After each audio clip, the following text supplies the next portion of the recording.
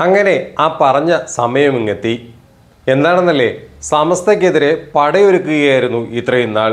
എന്നാൽ ഞങ്ങളിതാ യുദ്ധത്തിന് പുറപ്പെട്ടിരിക്കുന്നു. യുദ്ധത്തിനുള്ള എല്ലാ തയ്യാറെടുപ്പിനും ഞങ്ങൾ തയ്യാറായി കഴിഞ്ഞിരുന്നു.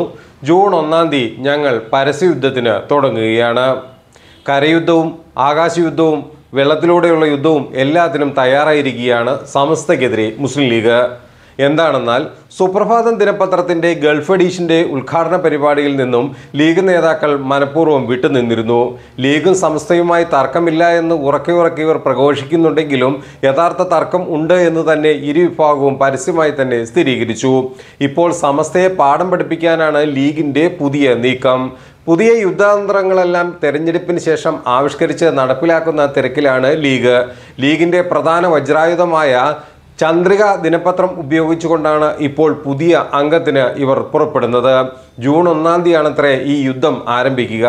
അതായത് സുപ്രഭാതം ദിനപത്രത്തിന്റെ ഗൾഫ് എഡീഷൻ തുടങ്ങിയ പരിപാടിയിൽ ഗൾഫ് എഡീഷന്റെ ഉദ്ഘാടന പരിപാടിയിൽ നിന്ന് മുസ്ലിം ലീഗ് നേതാക്കൾ വിട്ടുനിന്നപ്പോൾ സ്വാഭാവികമായിട്ടും ഇടതുപക്ഷ മന്ത്രിമാർ അടക്കമുള്ളവർ പരിപാടിയിൽ പങ്കെടുത്തിരുന്നു.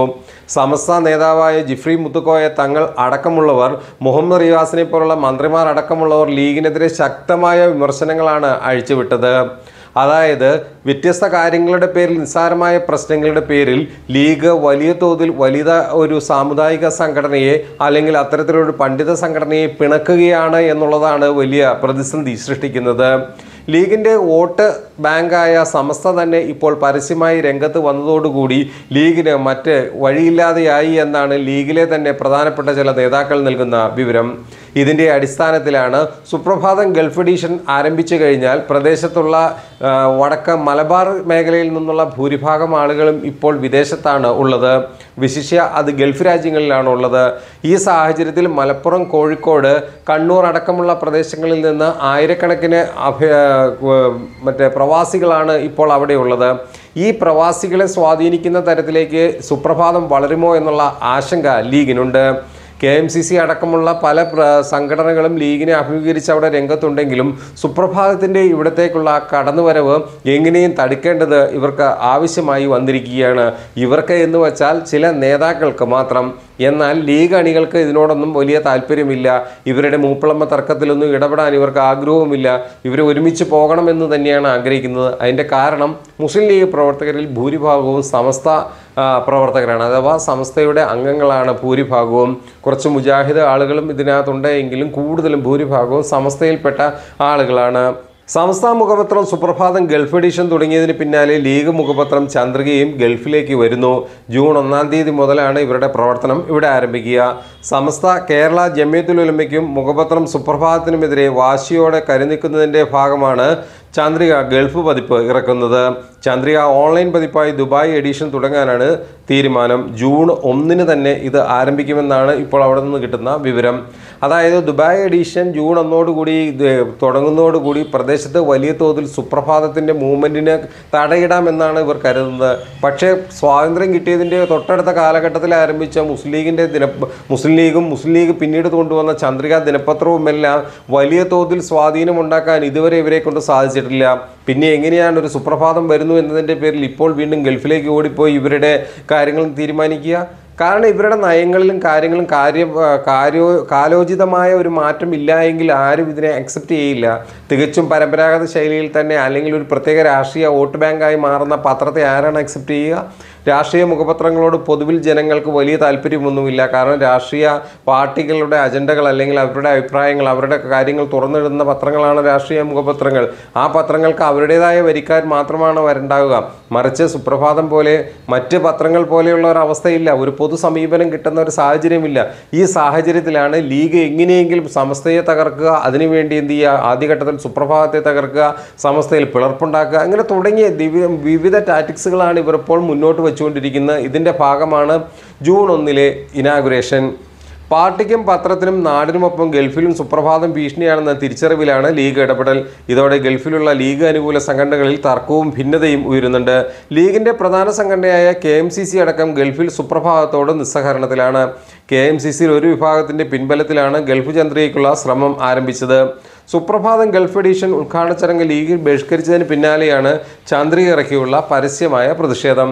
അതായത് മുസ്ലിം ലീഗിന്റെ ഒരു മുഖമാണ് കെ എന്ന് പറയുന്നത്.